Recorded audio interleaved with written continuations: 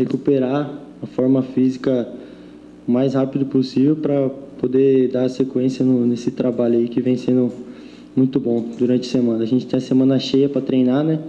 Isso ajuda a recuperação nossa. Murilo, como é que foi quando o Rodrigo te chamou? Não sei se foi aqui no vestiário, no corredor, enfim, te chamou e falou assim: Murilo, é você que vai para o jogo. Como é que funcionou isso dentro de você? Por mais preparado que você estivesse, por mais ansioso que você estivesse, por mais desejoso que você estivesse, mas quando o cara chega e fala assim: vai para o jogo, o que, que acontece dentro do cara? É, a gente demorou um pouco para cair a ficha, né? É, não esperava, não esperava que fosse seu por conta de ser um atacante que saiu, é, aí teve que mudar a formação toda. Não esperava realmente, fiquei surpreso, mas é uma surpresa feliz, né? E graças a Deus a oportunidade apareceu e consegui bem no jogo. Como é que foi é, a, o pós, é, o pré? É, como é que, como, como o Nando falou, como é que você reagiu a tudo isso? Para quem você ligou quando você falou que ia jogar? E o pós? Quem que te ligou depois que acabou o jogo e te elogiou ou até pegou um pouco no seu pé, familiar? Porque familiar é assim, né? Quanto É. mais você vai bem, eles sempre têm alguma coisa para falar, igual a imprensa. Mas enfim, como é que foi o, o pouquinho do pós, do pré e do pós-jogo? Bom, é, falei muito com minha mãe e com meu pai, né? É, antes do jogo, pré-jogo, muito ansioso, né? Difícil dormir, é, friozinho na barriga na estreia. Tava tocando o hino ali, parecia que o hino tinha 10 minutos de hino, parecia que não acabava nunca. E pós-jogo, é, eu fiquei satisfeito com a minha atuação. É, e acho que eu agradei também muitas pessoas, todo mundo veio me elogiar, me dar parabéns, e claro que tem muita coisa para melhorar ainda, mas em geral assim eu achei que eu fui bem também. 18.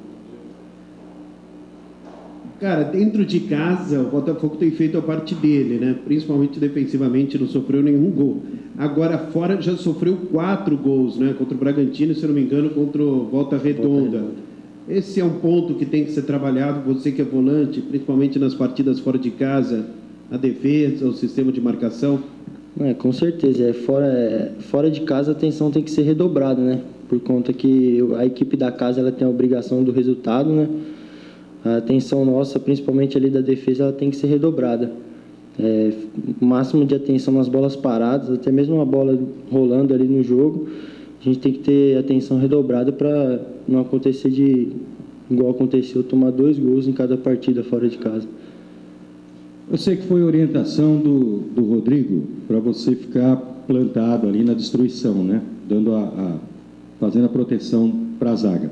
É, mas eu assisti aos seus jogos na natação Paulo e sei que você tem uma outra característica, que é do volante que sai para o jogo e se apresenta, inclusive para fazer gol, fez gol contra o Vasco, é, numa jogada assim, você mesmo construiu a jogada inteira, saiu lá de trás, foi lá para frente, aí gerou um escanteio, aí na cobrança do escanteio e tal. Enfim, você não jogou dentro das suas principais características. As suas características é do volante que sai para o jogo. Isso te incomoda? Você tem preferência ou você quer é, é, fazer que nem a, a- a farinha, quer estar no bolo? É, a gente quer estar sempre ali no meio do time, né? Entre os 11.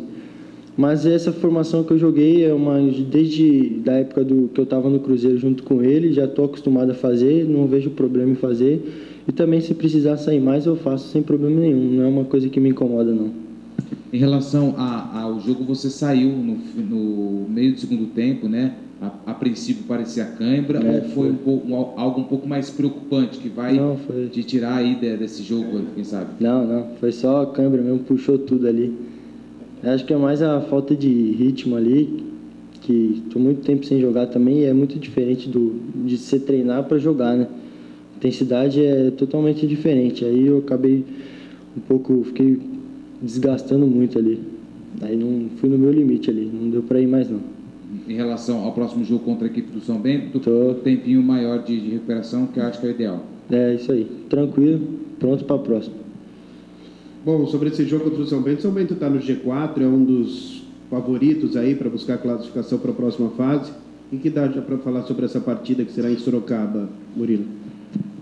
O Botafogo é, vai para ganhar, né? É, qualquer partida que o Botafogo for, ele está indo para fazer o seu jogo, só dentro das suas qualidades, vai para ganhar. E se não der, a gente tem que jogar o jogo, né? É, ver qual, como que vai ser o jogo, se vai ser um jogo mais pegado, se vai ser um jogo de mais qualidade. E a gente tem que se adaptar o mais rápido possível para poder fazer uma boa partida. O Rodrigo tem duas formas de jogar, uma no primeiro tempo, uma no segundo tempo, e, e, já ficou claro que isso é proposital. No primeiro tempo vai buscar o resultado, no segundo tempo já sabe que o time vai vir para cima mesmo para tentar uma reação, então já todo mundo atrás da linha da bola, jogando aí no, nos contra-ataques. Isso dentro de casa e fora de casa. Fora talvez inverta, né? Comece o primeiro tempo assim e depois, à medida que sentir o jogo que der para ir para cima, vai para cima. Para vocês dentro de campo, essas inversões fazem diferença? Demora até vocês conseguirem é, se adaptar, aqueles 15 minutos de estudo, enfim? Não, para a gente é normal. É até normal a equipe que faz um gol logo de cara, ela recuar um pouco, né? Porque a outra equipe automaticamente ela vai ter que vai querer empatar o jogo. Então, para nós ali é uma coisa normal que você pode ver que em qualquer jogo acontece isso, a gente não vê problema nenhum, não. E essa sequência a gente comentava, Murilo, que era uma sequência muito difícil, né? O Volta Redonda fora, o Joinville e a equipe do São Bento. São Bento vai fechar, porque depois vem o Macaé, que apesar de dar os trancos e barrancos, está na parte de baixo da tabela. Fechando com o empate, você considera um bom resultado lá em Sorocaba? É, sim, é por, por ser fora de casa, né? Ser, ser uma equipe muito qualificada. É, fora de casa a gente busca, a gente busca sempre pontuar, né? Sendo empate melhor ainda, mas se não der para ganhar, belisca um pontinho lá, tá ótimo também.